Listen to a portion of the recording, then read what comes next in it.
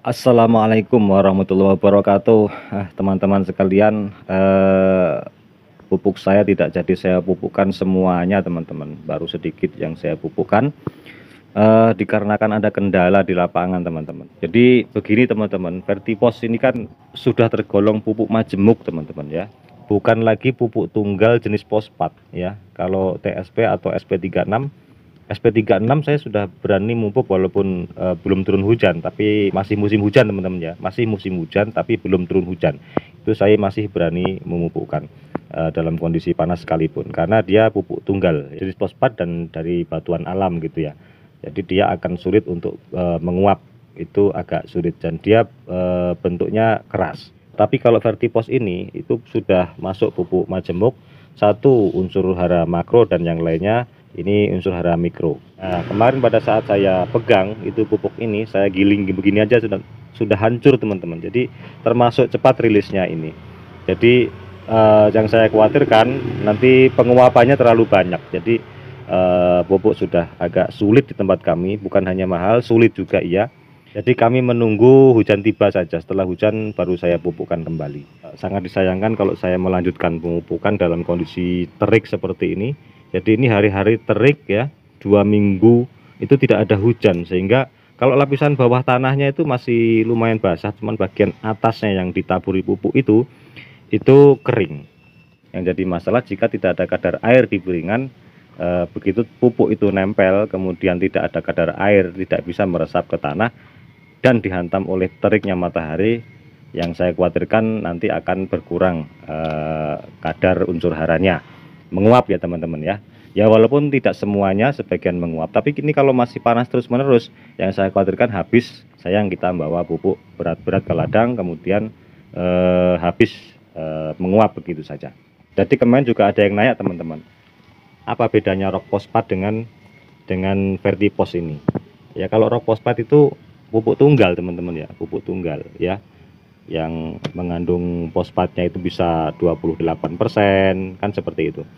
Uh, dan kemudian kalau vertipos ini adalah masuk dalam kategori pupuk majemuk ya. Nah, jadi sudah diolah jadi ini sudah dicampur sudah diolah dengan eh, bahan-bahan uh, pupuk lainnya sehingga uh, menjadi pupuk majemuk. Nah, kalau pupuk rock fosfat itu uh, atau TSP itu pupuk tunggal yang memang dari alam itu di, di diambil bebatuannya itu dan bebatuan itu walaupun diolah itu di dikecil-kecilkan ya diayak itu memang ya satu material itu dari bebatuan itu tidak dicampur dengan bahan yang lain. Tapi kalau vertipos sudah banyak mengandung unsur hara seperti ini ini tidak mungkin dalam uh, satu material teman-teman. Jadi beberapa banyak material yang dijadikan satu kemudian diolah di pabrik kemudian digranulkan. Sehingga uh, saya ginikan aja teman-teman kemarin itu sudah pure gitu ya jadi memang empuk pupuknya. Nah, kecuali lagi teman-teman uh, saya pupukan ini dalam kondisi yang sangat pagi sekali ya.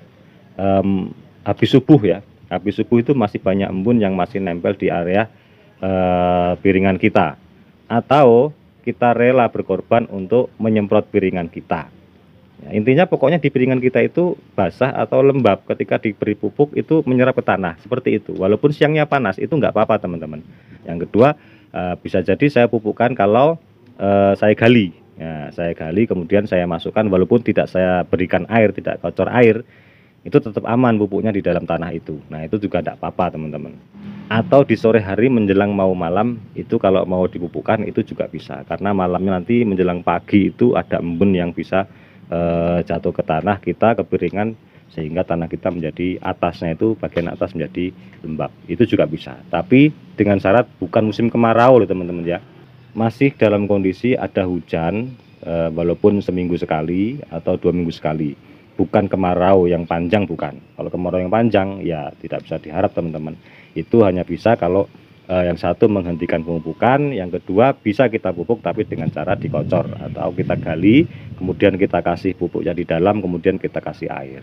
Nah itu baru bisa. Tapi kalau anda tebar di atasnya ya jelas sudah itu menguap. Walaupun tidak menguap sejenis uh, apa namanya pupuk-pupuk keras, pupuk dasar misalkan uh, TSP atau eh, Anda memupuknya dengan dolomit tidak menguap tapi tidak bisa meresap. Nah, itu karena tidak ada kadar air. Nah, ya. Baik, sampai di sini semoga bermanfaat eh, buat teman-teman semuanya. Salah hilap mohon maaf. Wabillahi taufiq wa hidayah. Assalamualaikum warahmatullahi wabarakatuh.